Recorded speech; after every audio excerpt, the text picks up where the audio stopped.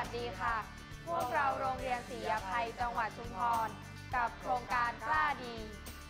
เนื่องจากสังคมปัจจุบันเป็นสังคมแห่งการเอาตัวรอด ทุกคนจึงลืมการเป็นแบบอย่างที่ดีให้กับเยาวชน ทั้งที่เยาวชนจะเติบโตมาเป็นต้นไม้ใหญ่ให้กับประเทศไทยของเรา เราจึงจัดเป็นเครือข่ายในการทำความดี ให้ทุกคนมาร่วมกันทำดี ให้กล้าคิด กล้าทำกล้านำและกล้าให้ เริ่มแรกเรามีการเปิดรับสมัครอาสา กล้าดีโดยเรา 3 คนเป็นแกนนำมาร่วมกันจัดค่ายผู้นำกล้าดี ค่ายนั้นเรามีการจัดกิจกรรม เยาวชนนั้นไซส์คือพลังแผ่นดิน โดยให้ผู้เข้าค่าย ร่วมกันคิดโครงการ พร้อมกับนำเสนอ ใน concept ที่ว่าสร้างสรรค์ชุมชนเริ่มต้นด้วยการให้ เราก็ได้ขยายกล้าดีออกสู่ชุมชน โดยการที่เราไปคุยกับโรงเรียนประจำอำเภอในจังหวัดชุมพร เพื่อสร้างเป็นเครือข่ายกล้าดี และคิดกิจกรรมหรือโครงการด้วยกัน ซึ่งทางโรงเรียนเราและโรงเรียนเครือข่าย ได้ร่วมกันทำความสะอาดหาดทราย ปล่อยพันปูลงสู่ทะเล และได้ให้ความรู้กับชาวบ้านเกี่ยวกับการอนุรักษ์พันปูครับ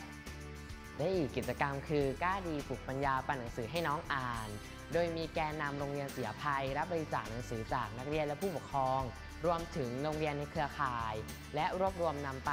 มอบให้น้องๆ โรงเรียนบ้านทุ่งมะขาม พร้อมจัดกิจกรรมสร้างความสัมพันธ์จากพี่สู่น้อง และอีกกิจกรรมคือ ปลูกกล้าดีสู่ผืนดิน ปลูกธรรมชาติสู่ถิ่นเราณอุทยานแห่งชาติหมู่เกาะชุมพร โดยมีแกนนำกล้าดีและโรงเรียนเครือข่าย ช่วยการปลูกต้นกองกลาง เพื่อรักษาสมดุลธรรมชาติ และยังเป็นแหล่งอนุบาลสัตว์น้ำตามธรรมชาติอีกด้วยครับ การประเมินผลเราจะจัดวันกล้าดีเดย์คือให้เครือข่ายนำกิจกรรมหรือโครงการ มานำเสนอและแชร์ประสบการณ์ รวมทั้งมีการสังเกตผู้ให้ความสนใจกับโครงการ มีการแจกแบบสอบถาม รวมทั้งมีการพูดคุยกับหน่วยงานหรือองค์กรที่เกี่ยวข้องจากนั้นนำมาสรุปเป็นค่าประเมินความพึงพอใจ และนำข้อมูลที่ได้มาปรับปรุงและพัฒนาในลำดับต่อไปค่ะ